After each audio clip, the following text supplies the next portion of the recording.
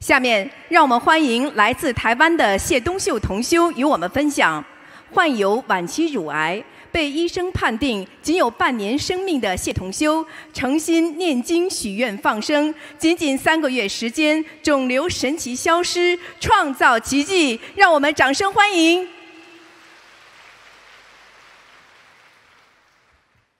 感恩南无大慈大悲救苦救难广大灵感观世音菩萨摩诃萨。感恩十方三世一切诸佛菩萨、龙天护法菩萨摩诃萨。感恩大德恩师卢军宏台长。感恩各位法师、各位嘉宾和来自各地的佛友们，大家好。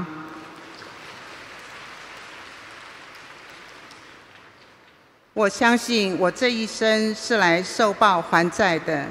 我的佛缘很深，但业障也很重。三十多年前，因为难产，血崩在手术台上，曾经心跳停止，在生命垂危的时候，观世音菩萨把我从死神的手中带回来。时隔三十年，我的生命再次受到威胁。我的肿瘤像葡萄柚那么大，是慈悲的观世音菩萨救了我，是慈悲的恩师救了我。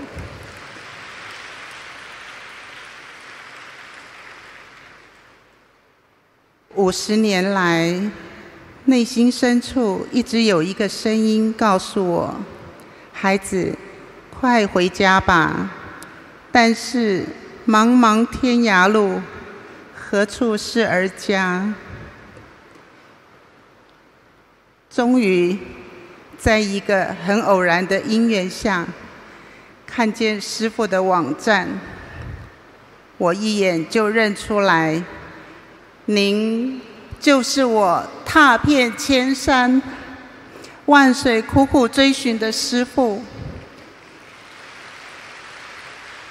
我终于找到一个可以让我们现在就生活在佛国里的法门。从修学心灵法门的那一天开始，我就许愿全素、终身清修，每天的功课不曾间断，小房子维持八到十张，到现在已经念诵一万四千张小房子。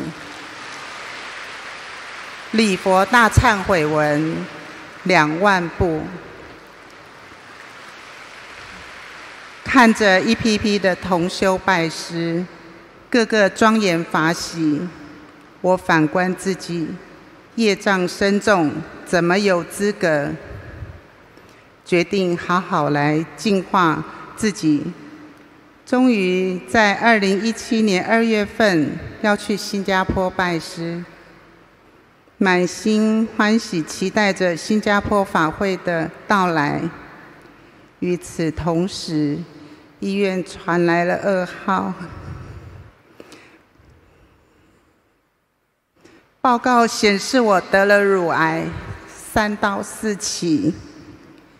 顿时天旋地转，说不怕死是骗人的，但令人更害怕的是。我将何去何从？当医生告诉我肿瘤太大、太靠近心脏，无法开刀，生命只剩下六个月，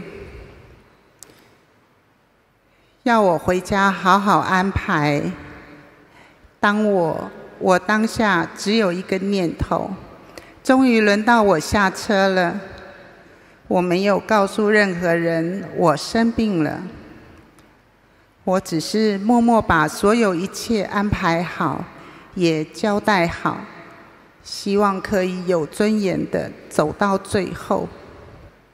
我的肿瘤像葡萄柚这么大，硬到推不动，皮肤都发紫发黑，整个发烫。像一个随时会爆炸的火球般，时不时还会像一大把针扎着我的心脏，刺痛难忍。我忍着剧痛，咬牙坚持念经。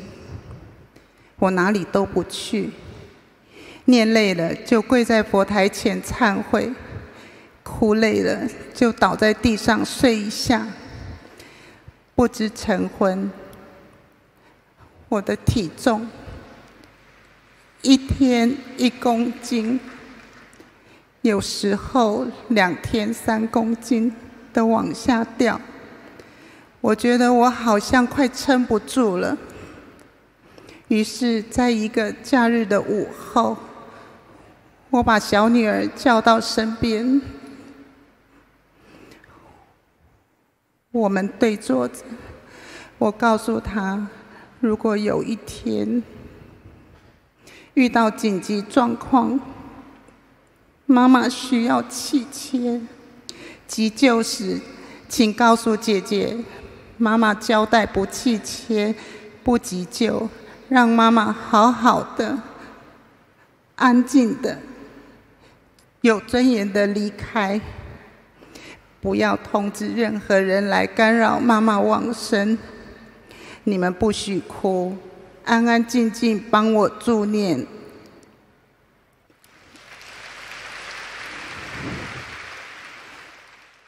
说完，我的眼泪根本停不下来。小女儿走过来，主动抱着我，很笃定的说：“妈妈，别担心，我们有心灵法门，我们有观世音菩萨，我们还有师父。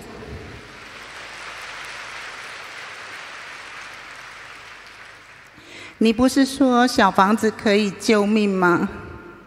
原来信奉天主的他。”也听白话佛法。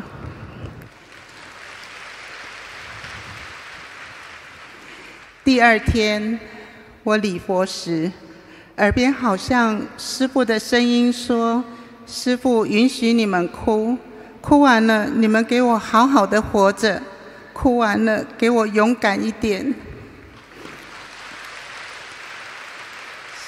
相信观世音菩萨。”在人间，什么都能帮我们解决。我立刻起来，洗把脸，继续念经。当我把一切交给菩萨安排后，不再打妄想，专心的念经。就这样，三个月的时间，肿瘤硬是被心灵法门的三大法宝感动的，一直缩小到摸不到。那天去医院看报告时，超音波的检验师和我的主治医师看着报告问我：“你有吃什么药吗？”我说：“没有，我只是一直忏悔，一直念经。”我的医师全家是虔诚的佛教徒，他用不可思议的眼睛看着我说：“恭喜你，你的癌细胞不见了。”我感动得全身发抖。他再三确认后，非常赞叹地送我出来，并说：“恭喜你，好好修行，阿弥陀佛。”我激动地跪下来，我激动地想想跪下来感谢天，但是在车水马龙的大马路边，我没有勇气。回家的路上，我以为我很勇敢，在捷运拥挤的车厢里，眼泪不听使唤的自动狂泻，而我眼前的所有人都非常贴心的不理我，好感恩他们大家。这次生死关头，我仰仗菩萨和。恩慈恩师的慈悲加持，让我没有受开刀与化疗的痛苦，更没有花一毛钱，就靠着对菩萨坚定的信心，坚持许愿、念经、放生。在这里，我要感谢十月六号在师父玄义问答节目里为我念诵回馈分享的师兄，更要感恩无私大爱的恩师慈悲做大师之吼逆加持弟子。过去一直不谅解，一直不解，我无怨无悔照顾家中老小，不让身边的家人、朋友、员工吃亏。总在能力范围内满足大家，为什么他们总是不了解我，总是不知足的排斥我？十月六日那天，师父的当头棒喝敲醒了我。师父说我非常自私，我反省，重新反省，我跪在菩萨面前忏悔，我错了。我错了，我终于知道，奉献是我今生的功课。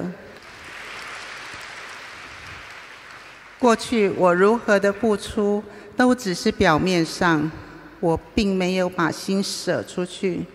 感恩师父，您不仅救度我们的生命，还照顾我们的慧命。